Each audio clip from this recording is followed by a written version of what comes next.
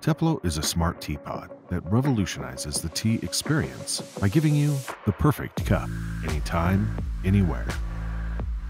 Here's how it works add water to the kettle, insert your preferred tea leaves, and select the corresponding tea using our app.